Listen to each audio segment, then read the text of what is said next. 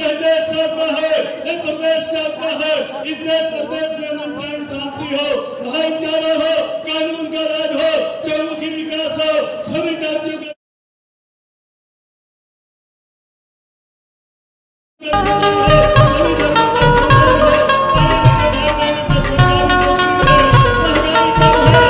सुरक्षित हो और अगर दोस्तों, धरातल में काम दिखे तो आइए लेकिन दोस्तों जो लोकतंत्र का पर्व है सबसे बड़ा एक जून एक जून को जो बाबा ने हमें वोट का अधिकार दिया है आज संविधान भी खतरे में है, आरक्षण भी खतरे में है तो इसको बचाने के लिए हमें एक एक और साइकिल के सामने वाले बटन दबाकर, दोनों इंडिया के गठबंधन के उम्मीदवारों को सांसद बनाकर, और जो देश के भविष्य है, उनके हाथों को मज़बूत करने के लिए पार्लियामेंट भेजने का काम करेगा। धन्यवाद। जय भीम जय सुवर्णा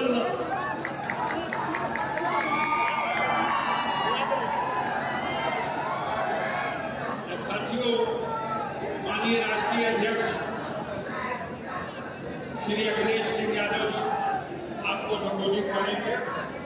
थोड़ा हुकुम बना लीजिएगा मैं उनको बुलाने से पहले गाजीपुर में आप सबकी तरफ़ से वीरों की धरती पर चार लाइन के पंक्ति के एक शेर के साथ उनका बेटे, बेबस और गरीब माँ बाप के सच पे बच्चे पे भी भरोसा भी 2017 में आजमाने का काम किया और 2017 में जब सीट 2022 में जब सीट का बंधन में फंसे तो पूर्वांचल के हाथ से फसना से भी आजमाने का काम किया।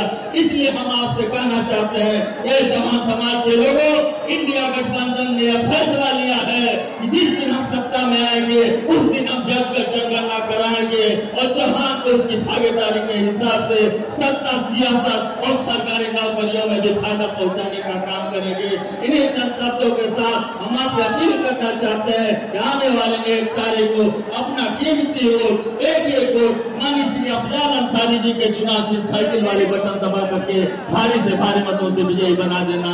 जय भीम, जय संविधान।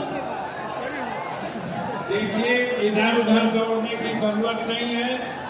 मानी जी का जो हेलीपैड है वो पुलिस लाइन में है वहाँ से पाँच आपके स्टेज पर आ जाएँगे गाड़ी से आएँगे किसी को इधर उधर झांकने की भी गुंजाइश नहीं है।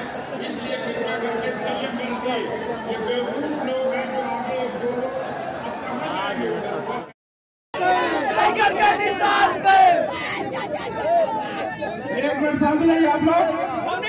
आप लोग एक मिनट जाइए। शांत हो जाइए एक बार आप लोग। बोला बोला।